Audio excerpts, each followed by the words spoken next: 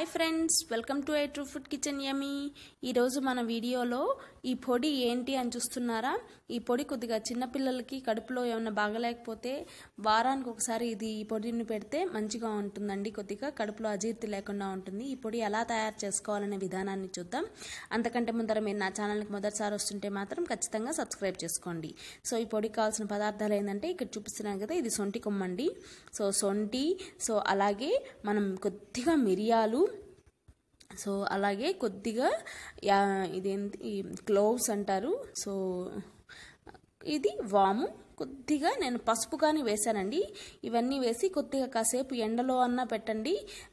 లేకపోతే కొద్దిగా గోరువెచ్చగా చేయండి. ఆ మిక్సీ బాగా పడుతుంది. గోరువెచ్చగా చేసి నేను దీన్ని కొద్దిగా ఈ మిక్సీకి వేసుకుంటున్నాను. ఫస్ట్ ఈ సొంటి కొమ్ముల్ని వేస్తున్నానండి. సొంటి కొమ్ముల్ని ఫస్ట్ మిక్సీకి వేసుకుంటే మిగతావి చక్కగా మిక్సీకి పడతాయి. సో చూస్తున్నారు కదా చక్కగా మనకి సొంటి కొమ్ములు అనేవి మిక్సీకి పట్టిపోయినాయి. సో మిగతా మన లవంగాలు అండ్ అలాగే మిరియాలు వాము కొద్దిగా పసుపు అన్నీ వేసి దీన్ని చక్కగా నేను ఇప్పుడు మిక్సీకి పట్టేస్తున్నాను. సో చాలా మెత్తగా పట్టుకోండి. రెండు మూడు సార్లకి చాలా మెత్తగా పట్టుకోండి. అంటే పాలలో బాగా కలిసిపోయేటట్టు అలా పట్టుకోవచ్చు. సో ఈ పొడిని మంచి ఎయిర్ కంటైనర్లో స్టోర్ చేసుకోండి మీరు. సో చూస్తున్నారు కదా మంచిగా మనం ఈ పొడిని ఎంత బాగుందో.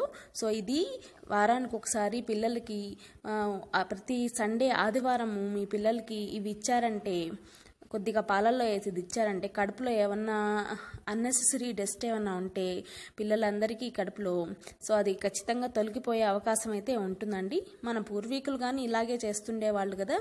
సో ఇవన్నీ మీరు మీరు ఇంట్లో ట్రై చేసి నాకు ఖచ్చితంగా కామెంట్ సెక్షన్లో తెలియచేయండి. ఈ వీడియో మీ అందరికీ నచ్చిందని నేను అనుకుంటున్నాను. సో ఈ వీడియో నచ్చితే లైక్ చేయండి షేర్ చేయండి.